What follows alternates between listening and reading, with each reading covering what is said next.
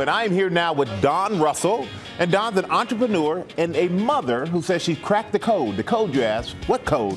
The code that's going to help your kids, get you to help your kids eat their veggies. She created the 8G tablets packed with eight powerful, powerful greens. And she has a new 8G cookbook that's out. It's full of recipes she says your kids will love. And Dawn, you say you cracked the code, 8G. What are the greens that are in your tablet and why are they so important? Well, no pressure to crack a code.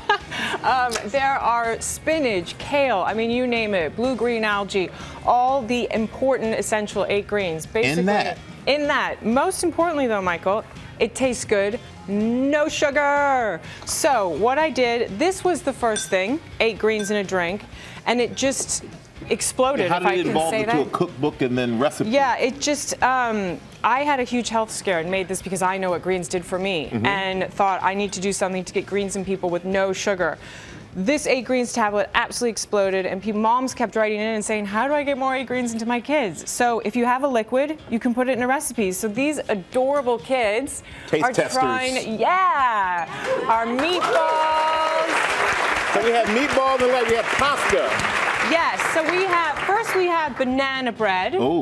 Which you can substitute maple syrup for sugar. It's great because it's so intense. It's so strong and sweet. It's a good sugar substitute. Mm-hmm. And there's an eight greens. Literally, if you put it, if it's in a liquid, you can pour it into the recipe, stir it up, and have your blue. Brownies. Then we have we have some brownies and we have some turkey meatballs. And again, it, you just if you can hide little things in it, probiotic powder and the red sauce. It's great to use omega oil when you can instead of extra virgin olive oil. And then here we have the red sauce, which is the same thing. You just add some basil. Again, any kind of probiotic powder, omega oil, help your kids just be strong and healthy. And you're secretly getting the greens in. So, so kids, you are taste testers. All right, how is it? Good. Tell the truth. It's good. Two thumbs up. Nothing like two meatballs and then pasta for breakfast, huh? Yeah. All right. Well, two thumbs up. You don't even know they're having all their greens. There you go. Dawn, great, great job. This is ingenious. I love it. The Thank 8G you. cookbook, it is out now. Make sure you pick it up. Make sure your kids get all of the greens that they need.